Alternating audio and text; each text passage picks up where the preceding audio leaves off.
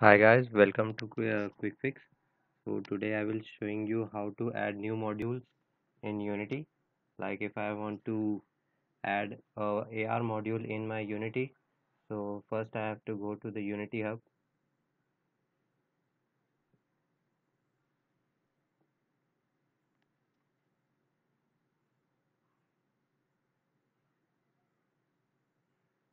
So here you have to go to the install and you can see here your installed version.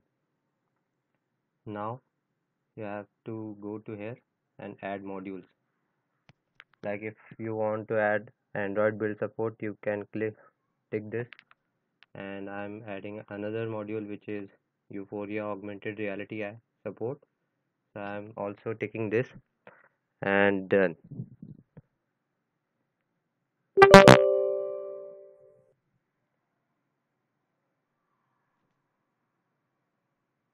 so the download will start in few seconds.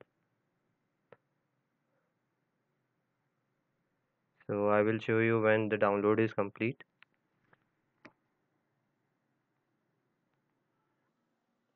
So now you can see the download is completed. To check. You have to go to add modules. Now here you can see my augmented reality module is downloaded and successfully installed so that's how you can do this. And thank you